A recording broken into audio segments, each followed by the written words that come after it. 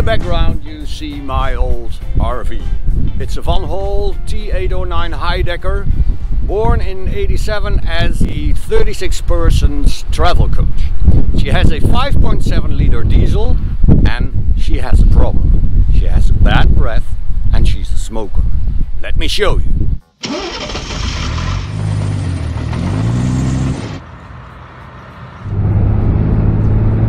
And when the season starts and I wake her up from hibernation,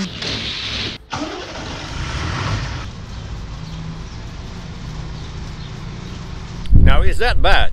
Well, I like to think so. It's bad for our planet.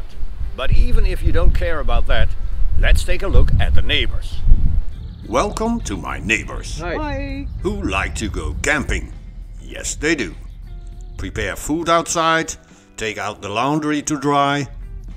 Yes, they like that too. And then I start my engine. I'm pretty sure they will be crossed with me. And they do have a point there. So either way, yes, she has a problem. Now you could say, get rid of her, buy a new one. But I'm in love with her. So let's do an experiment and find out if there's still a future for her old diesel engine with a new fuel. Usually I feed her conventional diesel, but this time I fill her up with GTL. Now what is GTL? GTL stands for gas to liquids. It's a way of making diesel not out of crude oil, but out of natural gas. Simplified, you pump up natural gas, do some complicated things with it, and at the end, diesel fuel comes out. Shell makes this stuff together with Qatar Petroleum at their Pearl plant in Qatar. And together they convert 1.6 billion cubic feet of natural gas a day. Now a few characteristics of GTL compared with conventional diesel. GTL hardly contains aromatics and polyaromatics, 90% less sulfur, toxic emissions are low, and GTL is biodegradable. Shell claims that you can mix GTL with conventional diesel, that you can use it in every diesel engine, and that your engine will run cleaner and smoke a lot less. Sounds like my kind of fuel. So the questions in this experiment are, is GTL better for the environment?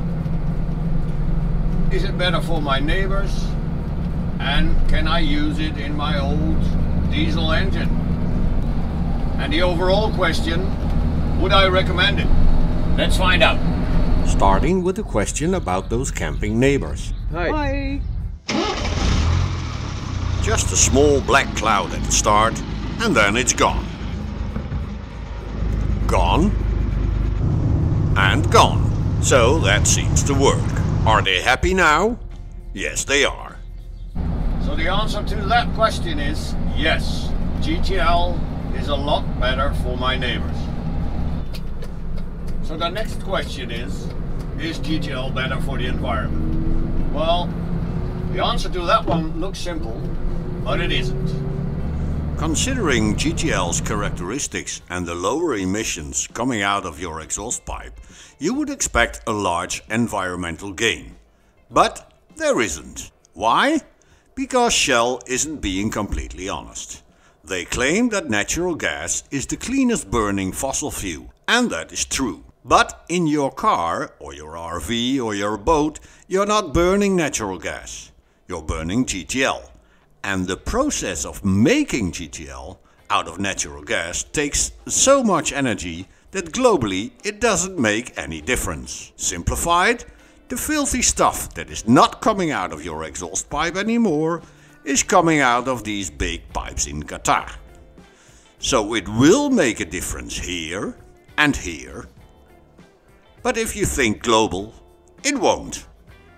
Third question is, can I use GTL in my old diesel engine? First, the upsides.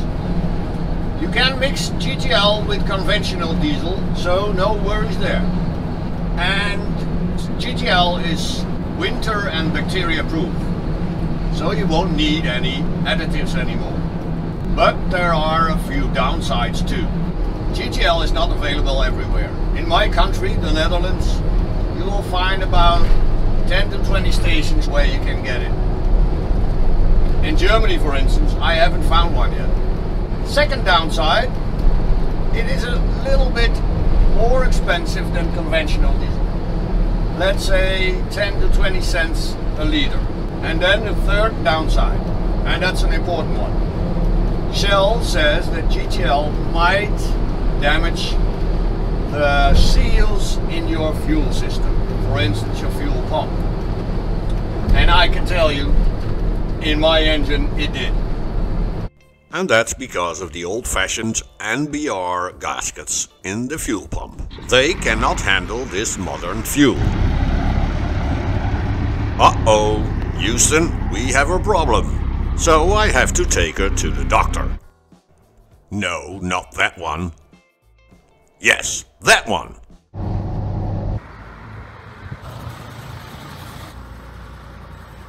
Where they take her fuel pump out, put new gaskets in it, and put it up for the final test.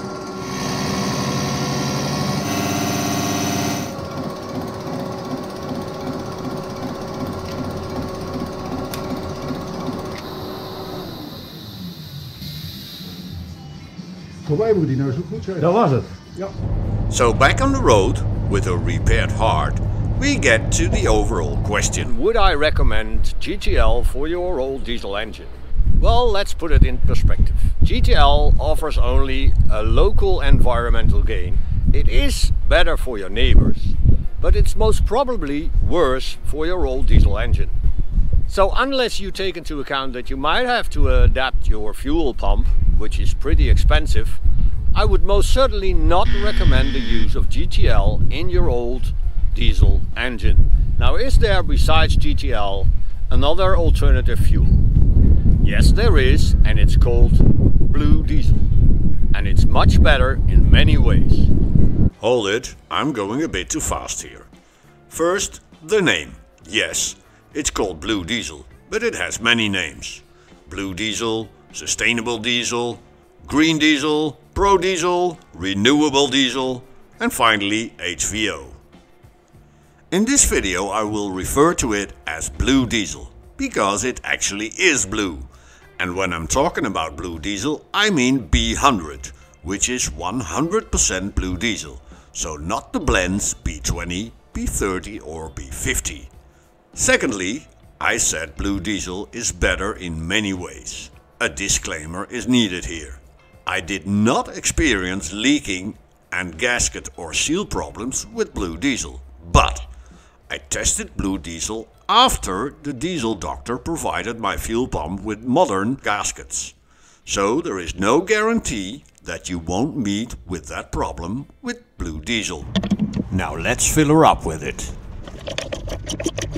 This is going to take some time because our fuel tank can contain 260 liters. So meanwhile we can have a look at what this blue stuff is. The best name for this product is HVO, which means hydro-treated vegetable oil.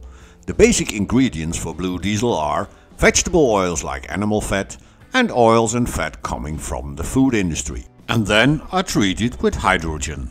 Blue diesel is chemically similar to petroleum diesel, so it has the same molecular structure as petroleum diesel. By the way, biological diesel does not, so it is not the same. Now let's take a look at the characteristics of blue diesel compared with GTL. Apart from the green graphic bar, the emissions of both products are similar. I'll get back to you on that green one later. For both products you may double or even triple the blue and grey bar depending on the old age of your engine. So my expectations for blue diesel are high, the tank is finally filled and I want to give it a try. Now that looks great. No smoke, no bad smell. No smoke here, not here, and no smoke here. Now let's see whether these camping neighbors agree. With their outside food and their outside laundry. Do they agree? Yes, they do. So the answer to that question is yes, blue diesel is a lot better for my neighbors. Second question, is it also better for the environment? To answer that one, we will have to go back to the graphic bars. First a little sidestep. The black bars stand for the reduced sulfur in both products. And the reduced smoke coming out of my exhaust pipe is mainly caused by the lack of sulfur in both GTL and blue diesel. So if your diesel engine failed the soot test or emission test, or you worry about it, just fill up your tank with either GTL or blue diesel and you can be sure it will pass. Back to the graphic bars and then especially this green one. Where GTL has a carbon dioxide reduction of only 1% in the chain from well to wheel, blue diesel decreases your carbon footprint with 89%. The reason for that is the origin. Blue diesel is fossil free. So the answer to the second question is yes, blue diesel is a lot better for the environment. Third question is, can I use blue diesel in my old diesel engine? Yes, you can. And there are a few nice upsides. First one. You can mix blue diesel with conventional diesel without any problem. There are even blends available. Second upside, blue diesel has a slightly higher cetane rating. And that gives your engine more efficiency and power. After 3000 kilometers using this blue stuff, I can say in my RV that means 10% more kilometers to the liter. Third one, blue diesel is winter and bacteria proof which is an advantage, especially for yachts and RVs that are not used for a big part of the year. Does blue diesel have downsides too? Yes, it does. First one, its availability. In my country, the Netherlands, there's about 20 stations. But that number is increasing rapidly. And even big players like Exxon and Shell are starting to sell blue diesel or at least blends. Second downside, is the price. It's more expensive than conventional diesel.